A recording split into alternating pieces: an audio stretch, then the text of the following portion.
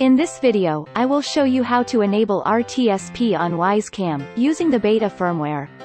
You will need a Wyze Cam, and a micro SD card. First, visit the first link in the description below and download the correct firmware file.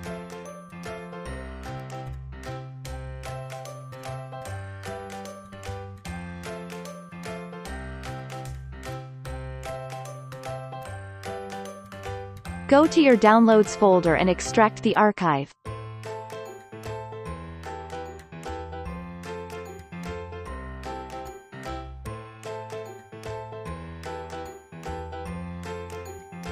Open the extracted folder.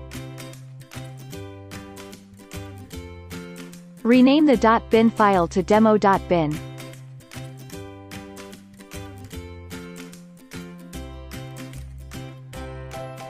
Copy demo.bin to the main folder of the SD card.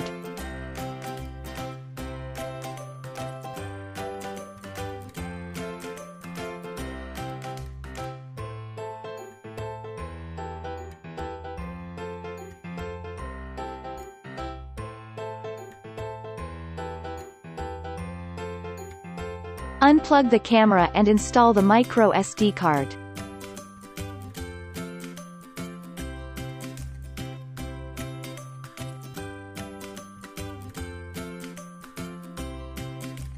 Hold down the setup button while plugging in the camera.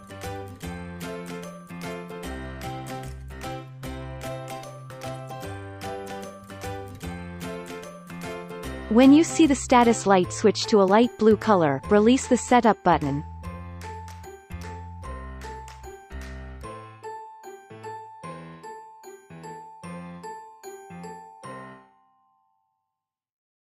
The camera will now flash the new firmware.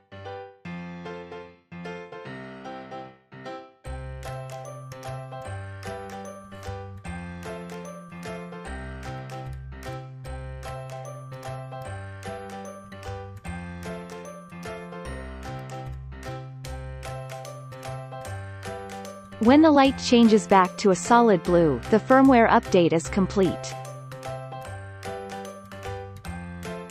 Now, reboot the camera by unplugging the cable and plugging it in again.